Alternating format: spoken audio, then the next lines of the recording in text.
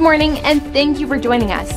Let's start today's technical analysis with the dollar yen pair and the recent events stirring the markets. Greg?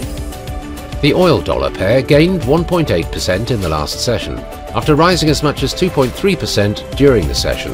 The RSI is giving a positive signal. The pound dollar price remained largely unchanged in the last session.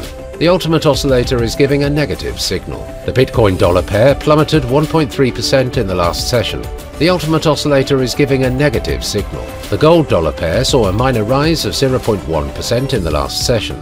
The stochastic RSI is giving a negative signal. Moving on to world financial news.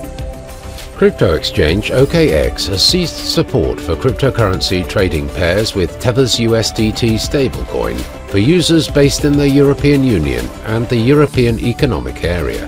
The exchange confirmed. Oil prices climbed to about a four-month high to start the week on lower crude exports from Iraq and Saudi Arabia and signs of stronger demand and economic growth in China and the US. Wall Street's main indexes closed higher with mega-cap growth stocks such as Alphabet and Tesla supporting a rebound in technology-heavy Nasdaq, while investors also waited anxiously for the US Federal Reserve's meeting this week.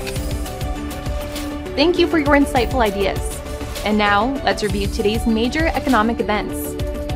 Australia's RBA rate statement will be released at 0330 GMT. Australia's RBA interest rate decision at 0330 GMT. The US Redbook Index at 1255 GMT. The Eurozone ZEW survey Economic Sentiment will be released at 1000 hours GMT. Japan's BOJ interest rate decision at 0300 hours GMT. The US housing starts at 1230 GMT.